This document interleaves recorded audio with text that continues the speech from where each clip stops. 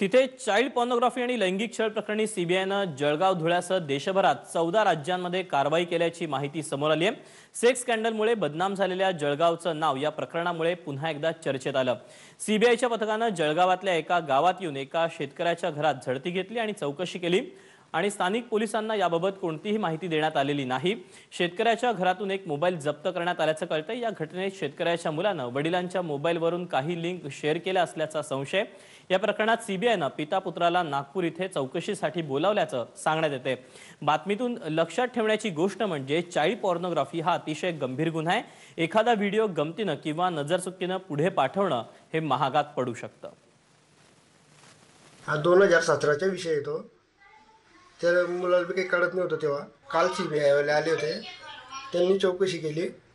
आणि त्यांनी असं काही म्हटलं नाही आहे पण गरज पडली तर बोलू असं त्यांनी आम्हाला सांगितलं बस याच्यापुढे काही नाही. एबीपी माझा. उघडा डोळे बघा नीट.